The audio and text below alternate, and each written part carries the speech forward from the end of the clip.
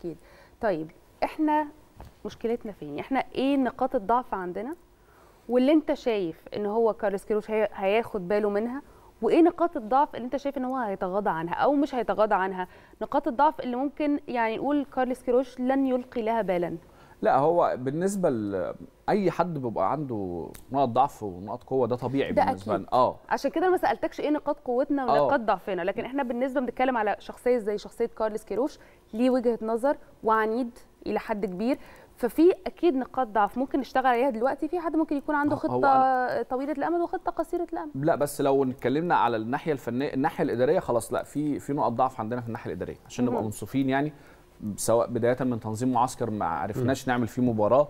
الترتيب مع رابطة الأندية اللي عاملة شكل ولا أروع للدوري عشان خاطر إنه ماتش الأهلي وبيراميدز كان. يتلعب ده ما تمش صح. ففي الناحية ال- ال- ال- نقطة الضعف في الحتة دي موجودة لكن في الناحية الفنية أنا شايف إن إحنا منتخب عندنا أنا شايف إن إحنا منتخب قوي جدا ما- مش شايف إن في نقط ضعف غير في مكان واحد ألا وهو نص الملعب تغيير الطريقة من 4 2 3 1 اللي إحنا بقالنا خمس ست سنين بنلعب بيها واثنين في قلب الملعب قدامهم واحد هو جه عملها 4 3 3 دي شوية عاملة خلل عند.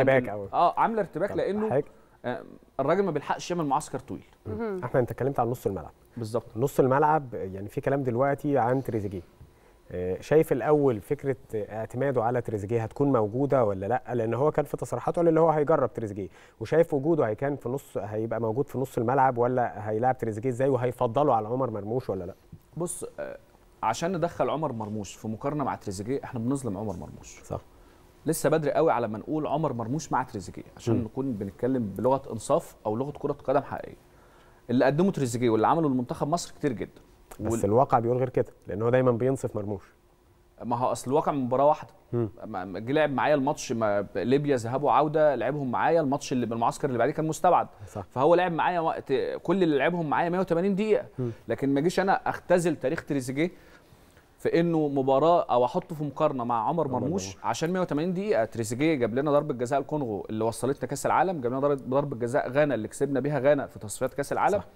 كان من احد اهم اللاعبين عند هيكتور كوبر أنا كنت في الفترة دي بتكلم مع كوبر كتير يقول لي أنا اللاعب عندي رقم واحد بالرغم في وجود. محمد صلاح هو تريزيجيه لأنه كان بيبني الخطه على تريزيجيه مش على محمد صلاح كل منتخبات العالم بتيجي بتمسك محمد صلاح معروف مم. عشان كده الناس بتقول لك محمد صلاح مع المنتخب ليه مش زي تاني. مع ليفربول. صح.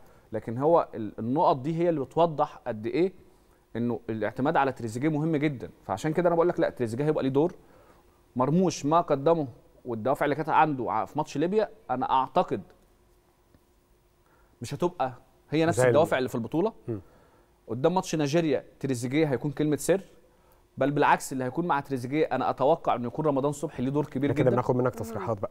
آه يعني أنا يعني بتكلم ده رهان عشان نرجع بعدها آه، ونتكلم ونشوف اللي حضرتك قلته بالظبط وفيها مظبوط. معلومات كمان أنا بتوقع وكمان من خلال معلومات رمضان صبحي هيبقى ليه دور مهم جدا عن مرموش مم. مرموش آه أنا عارف إن هو يبقى موجود والراجل ممكن يعتمد عليه بس هو مش مش شرط خالص إن هو يبدأ ال playmaker الوحيد أو الأساسي آه مش شرط خالص إن هو اللي يشيل الحتة دي لوحده لأنه الكيمياء اللي هتبقى موجودة بين تريزيجيه وعبد الله السعيد ومحمد صلاح ومصطفى محمد اللي لعبوا مع بعض فترات كبيرة دي أهم من إنه لاعب تألق في مباراة 180 دقيقة أو مباراتين ذهاب. وعودة.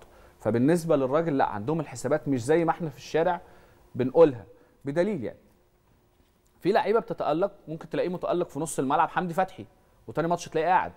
ما هو مقياس التألق في مباراه أو إن أنت جبت هدف بدليل كمان آخر أحمد رفعت جاب جون عالمي أحسن جون في السنة الجديدة في. كأس العرب. الكرة الشوطه الفاول وراح جاي مكملها. هل أحمد رفعت آه، خده في القايمة؟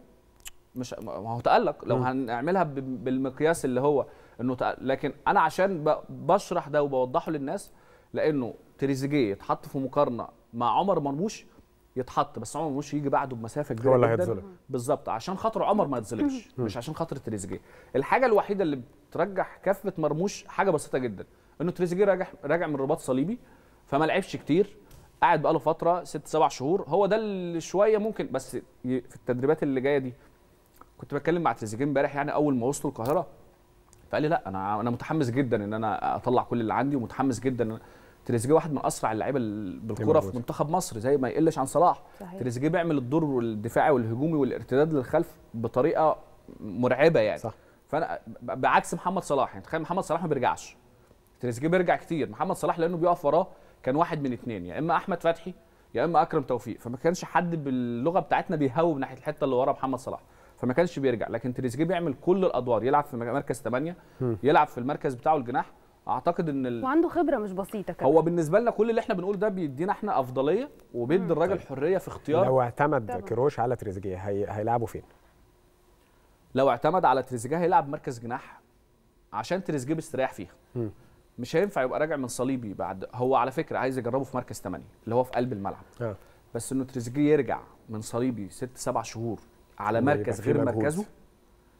أعتقد إن تريزيجيه اللي هيبقى عنده القلق إن هو يلعب في الحتة دي شوية لو اتكلموا معاه. بس في نفس الوقت لو طلب منه ده هيعمله.